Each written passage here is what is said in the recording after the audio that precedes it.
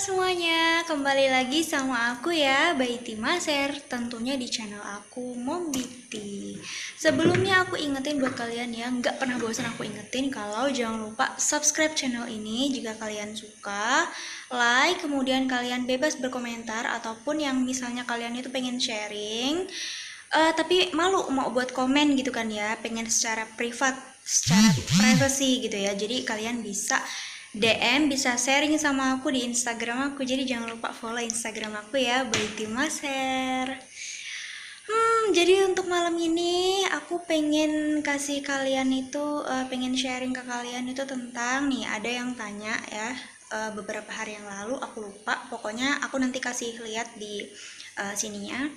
Itu tuh dia tanyanya tentang uh, berhubungan dengan urusan ranjang cuman dia itu uh, apa uh, berapa berapa lama waktu yang dibutuhkan ketika habis melahirkan untuk kembali normal melakukan aktivitas di ranjangnya. Nah dia juga ngomong katanya uh, kalau kata bidan sih normalnya satu bulan ya, tapi uh, dia itu si istri itu menolak dengan alasan karena uh, mengikuti nenek moyangnya gitu kan ya yang katanya itu nunggu tiga bulan dulu. Nah by the way ini aku pernah dengar dan aku pernah tahu sendiri gitu ya. Aku pernah hampir ngalamin sendiri.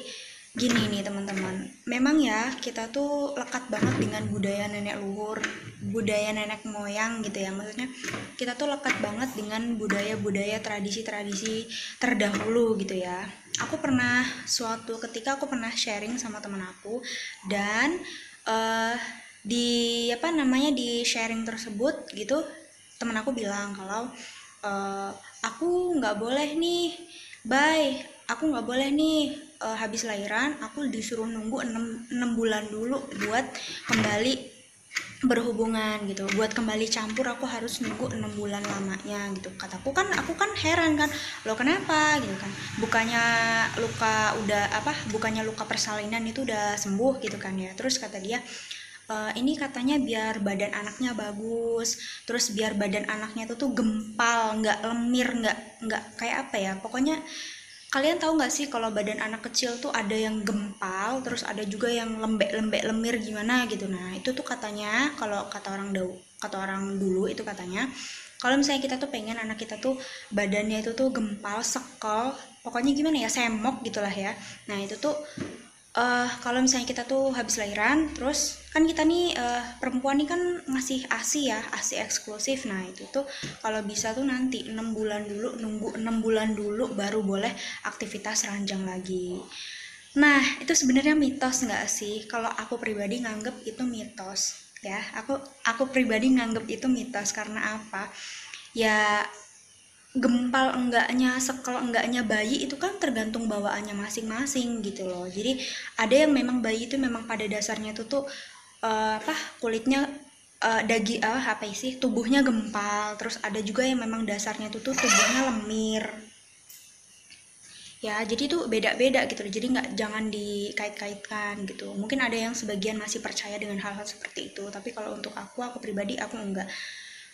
Jadi uh, sebenarnya tuh memang udah kebukti mitos banget ya. Uh, buat apa coba kita nunggu lama-lama gitu kan sampai setengah tahun bayang pun ya si suami mau jajan di mana gitu kan mau ngapain gitu kan setengah tahun lamanya bayangin kadang sehari aja kadang udah nggak betah kan. Jadi kalau bisa sih jangan seperti itu ya. Jadi ketika misalnya mungkin kalau apa sih kita kan juga dikasih misalnya kita habis lahiran itu kan ada juga yang namanya kan masa nifas ya. Jadi kayak kita tuh datang bulan lagi gitu kan. Jadi itu buat sambil kayak waktu pemulihan gitu loh. Jadi kalau kataku sih mungkin ya bener sih kata bidan normalnya itu ya mungkin satu bulan. Maksudnya nunggu nunggu mungkin kalau yang bagi kalian itu yang jahitan gitu kan bagi perempuan-perempuan yang jahitan lahirannya atau lagi yang misalnya kayak obras gitu kalian itu kan mungkin agak takut sih ya. Jadi mungkin satu bulan atau satu bulan lebih dan ini nih si suami harus pengertian banget. Oke okay, jadi sebaiknya uh, hindari yang seperti itu ya. Jadi uh, apa kalau misalnya kalian tuh udah siap gitu ya tanpa menunggu tiga bulan ataupun bahkan menunggu sampai enam bulan itu janganlah ya. Soalnya kasihan si suaminya kasihan laki-lakinya gitu ini by the way bener aku pernah kayak bener-bener sharing gitu loh bener-bener ngalamin bener-bener de denger pakai telinga aku sendiri kalau memang ada ada uh, petuah-petuah yang seperti itu gitu loh aku sih nggak tahu benar apa enggaknya gitu kan mungkin yang tapi secara pribadi yang aku tangkap itu mitos So, itu aja yang bisa aku kasih ke kalian ya, aku sharing ke kalian. Uh, selebihnya kalian bisa DM Instagram aku ataupun kalian bisa uh, komen di bawah ya. Nanti kalau sempat pasti aku baca. Makasih banget sejauh ini buat yang udah selalu nonton dan selalu dukung channel aku. Makasih banyak. Assalamualaikum.